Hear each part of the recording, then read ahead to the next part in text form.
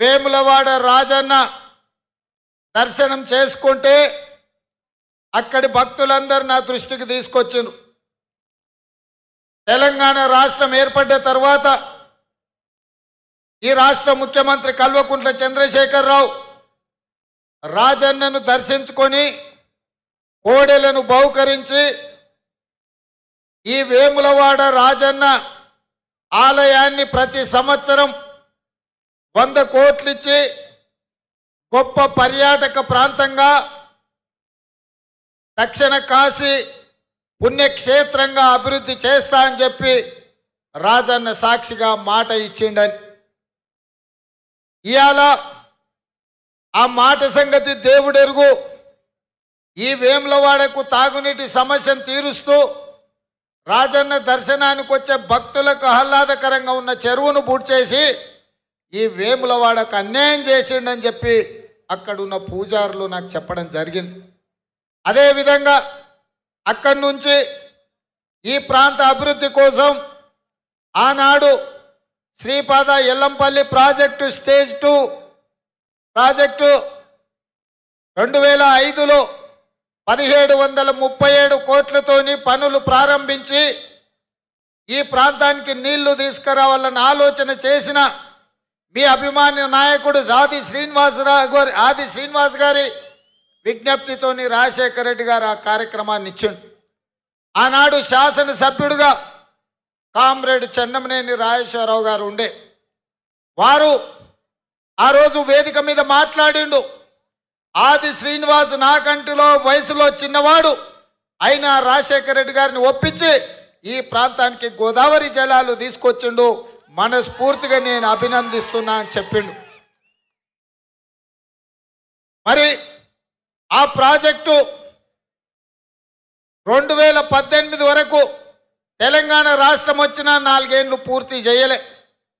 రెండు వేల పద్దెనిమిది ఎన్నికల్లో టిఆర్ఎస్ పార్టీ చెన్నమనేని రమేష్ ఓడిపోతాడని తెలిసి ఆనాటి సాగునీటి పారుదల శాఖ మంత్రి హరీష్ రావు గారు ఇరవై రెండు ఆరు రెండు వేల పద్దెనిమిది నాడు హడావిడిగా శిలాఫలకం వేసి నలభై మూడు వేల ఒక వంద ఎకరాలకు నీళ్ళు ఇస్తా అని చెప్పి ఆ రోజు పనులను ప్రారంభించిండు. రెండు వేల పద్దెనిమిది ఎన్నికలలో లబ్ధి పొందిండ్రు టీఆర్ఎస్ ఎమ్మెల్యే గెలిచిండు. ఆనాటి నుంచి ఈనాటి వరకు నాలుగు సంవత్సరాలు పూర్తయినా తట్ట మట్టి ఎత్తిపోయలేదు. ఈ ప్రాంతానికి నీళ్ళంటే వరద కాలువతో నీళ్ళు ఇస్తా అంటాడు. ఇవాళ హరీష్ రావు గారు అది ప్రారంభించిన ఆయనక ఆయన మంత్రి పదవి ఊసిపోయింది సాగునీటి పారుదల శాఖ మంత్రి. పోనీ ఇంకెవరికన్నా ఇచ్చిందంటే అది లేదు. రాష్ట్ర ముఖ్యమంత్రి కల్వకుంట్ల చంద్రశేఖరరావే ఈరోజు సాగునీటి పారుదల శాఖ మంత్రి ఉన్నాడు. ఆయన భజన పరులు ఆయన వంది మాగదులు చెప్తారు. ఆయననే డాక్టరు ఆయననే లాయరు ఆయననే ఇంజనీరు ఆయననే అపర భగీరథుడు. శివుడి తల మీద ఉన్న గంగమ్మను భూమి మీదకి తెచ్చి భూమి మీద నుంచి వేముల వాడక ఆయన్నే తెస్తాడు. ఆయన అపర మేధావి అని చెప్పారు. ఆ సన్నాసిని నేను అడుగుతున్నా ఈ ప్రాజెక్టును ఎందుకు? ఎనిమిది ఏండ్లైనా అట్ట మట్టి కూడా తీయక ఈ ప్రాంతం మిట్ట ప్రాంతం ఎత్తైన ప్రాంతం ఈ ప్రాంతానికి సూరమ్మ ప్రాజెక్టు పూర్తి చేస్తేనే నీళ్ళు వస్తాయని తెలిసి కూడా ఆ పనులు చేయలేదు అంటే ఈ ప్రాంతం మీద ఉన్న వివక్ష ఏ విధంగా ఉందో ఆలోచన చేయండి.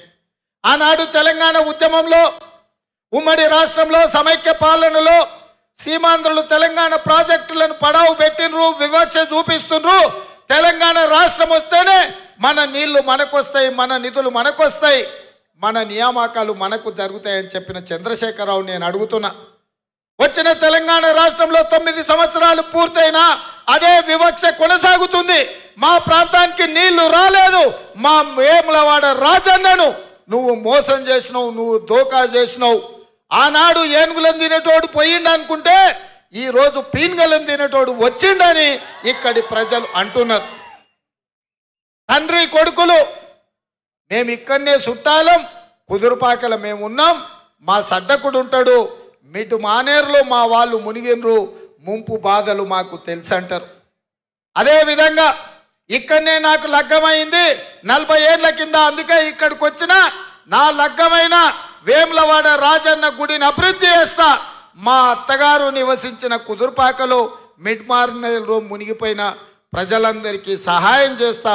డబుల్ బెడ్రూమ్ ఇల్లు ఇస్తా అని మాట ఇచ్చాడు నేను ఇవాళ ఈ వేములవాడ ప్రజల సాక్షిగా రాష్ట్ర ముఖ్యమంత్రికి చెప్పదలుచుకున్నా బిడ్డ నలభై ఏళ్ళ కింద నీకిడ లగ్గం అయిందో లేదో కానీ వేములవాడ బిడ్డలు తప్పకుండా నీ లగ్గం చేస్తారు. నీ డొక్కజించి డోలు కట్టి వేములవాడ బిడ్డలు వాయిస్తారని చెప్పి నేను ఈ సందర్భంగా చెప్పదలుచుకున్నా. అందుకే మిత్రులారా గుడిని గుడిలో ఉండే లింగాన్ని దిగమింగే ప్రభుత్వం ఈ రాష్ట్రంలో ఉన్నది. పోనీ మీరు ఎన్నుకున్న ఎమ్మెల్యే మీకు అందుబాటులో ఉండి మీ సమస్యలు తెలుసుకొని మీ సమస్యల పరిష్కారం కోసం ప్రభుత్వంతో కొట్లాడతాడేమో అని మనం అనుకున్నాం. ఇక ఆయన ఎక్కడుంటాడో మీకు తెలుసు. ప్రగతి భవన్ పోతే ముఖ్యమంత్రి కనిపించాడు మనకు గలవడు. ఈయనను గలవాలంటే జర్మనీకి పోవాలి. ఏం కర్మ అని నేను అడుగుతున్నా. ఈ వేములవాడలో చెన్నంనేని రమేష్ గెలిచిండు వేములవాడ ప్రజలు ఓడిపోయినరు. ఎమ్మెల్యేలను కలవాలంటే జర్మనీకి పోవాల్సిన కర్మ ఈ ప్రాంత ప్రజలకు పట్టింది. అందుకే మిత్రులారా ఈ గడ్డ మీద ఈ నేల మీద ఈ ప్రజల మీద రమేష్కు ప్రేమ లేదు. అందుకే ఆయన ఈ దేశ పౌరసత్వాన్ని వదులుకున్నాడు. ఈ ప్రాంతంతో అనుబంధాన్ని తెంచుకున్నాడు. వాళ్ళ తల్లిదండ్రులు ఉన్నారు కాబట్టి పదవి మీద మోజు ఉంది కాబట్టి ఇక్కడికి వచ్చి అబద్ధాలు చెప్పి తప్పుడు ప్రకటనతో ఇక్కడ ఎమ్మెల్యే అయ్యిండు. అందుకే ఇవాళ మీరు ఆలోచన చేయండి. గెలిచినా ఓడినా ఎన్ని కష్టాలు వచ్చినా ఎన్ని కన్నీళ్ళున్నా ఎంత అప్పుల పాలైనా ఎన్నిసార్లైనా నిలబడి మీకోసం కొట్లాడిండు మీకు అండగా నిలబడ్డాడు. మీ బిడ్డ ఆది శ్రీనివాస్ అన్న సంగతిని మీరు గుర్తుపెట్టుకోండి. ఇవాళ ఈ వేములవాడనే కాదు కరీంనగర్ పార్లమెంటు నియోజకవర్గంలో కల్వకుంట్ల చంద్రశేఖరరావు మూడు సార్లు ఎంపైండు వినోద్ రావు ఎంపాడు. తెలంగాణ రాష్ట్రం తేలే. కానీ బలహీన వర్గాల బిడ్డ పొన్నం ప్రభాకర్ సార్ ఒక్కసారి గెలిపిస్తే తెలంగాణ రాష్ట్రం సాధించిండు. ఇది నిజాయితీ. ఇది నికార్సైన బిడ్డ. తెలంగాణ కోసం కొట్లాడిండు. గల్లీలో మీరు లొల్లి పెడితే ఢిల్లీలో పార్లమెంట్లో తెలంగాణ బిల్లును పెట్టి లైవ్లు బంద్ చేసి పార్లమెంటు దర్వాజాలు బంద్ పెట్టి తెలంగాణ రాష్ట్రాన్ని సాధించిన బిడ్డ మీ పార్లమెంట్ సభ్యుడు మాజీ పొన్నం ప్రభాకర్ గారు. ఇవాళ ప్రజలకు అండగా ఉండే ఆది శ్రీనివాస్ గారు.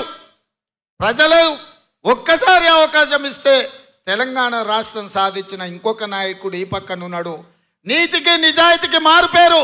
ఆనాడు కాంగ్రెస్ పార్టీ అధికారంలో ఉన్నప్పుడు మీ జిల్లా నుంచి పెద్దలు జీవన్ రెడ్డి గారు దుద్దిల్ల శ్రీధర్ బాబు గారు మంత్రులు అంటే మీరు ఎక్కడికి వెళ్ళినా తలెత్తుకొని గౌరవంగా మా మంత్రి పెద్దలు జీవన్ రెడ్డి గారు అని చెప్పుకున్నారు. నేను ఇవాళ టీఆర్ఎస్ సన్నాసులను అడుగుతున్నా. మీ ప్రాంతం నుంచి మంత్రిగా ఉన్న గంగుల కమలాకరు వరంగల్లో ఉన్న ఎర్రబల్లి దయాకర్ పేరు ఎవడన్నా చెప్పుకుంటాడా? ఎట్లాంటి దగులుపాజీలు ఎట్లాంటి దండుపాలెం ముఠ ఈరోజు మంత్రులుగా నియమించిండ్రో మీరు ఒక్కసారి ఆలోచన చేయండి.